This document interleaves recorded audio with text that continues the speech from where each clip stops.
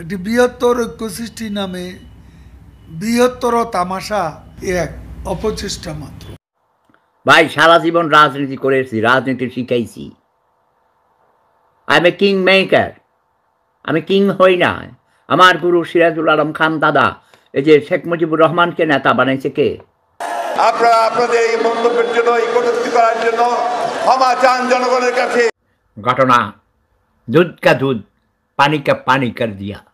একাত্তরের পরে তিন বছর পর জন্ম হয়েছে সেই শিশুও মুক্তিযোদ্ধা ভাতা পায়। আর যারা প্রকৃত মুক্তিযোদ্ধা তাদের নাম মুক্তিযোদ্ধার লিস্টে নাই। আমি তার জাজ্জল্যমান প্রমাণ। ওই ফকুনির বাচ্চারা আমার জোতা ছিঁড়ছে কাটা। পরে আমি দেখবার আইছি। আমি কি কাউকে গালি দিয়েছি? কাহার বিরুদ্ধে বলতেছি?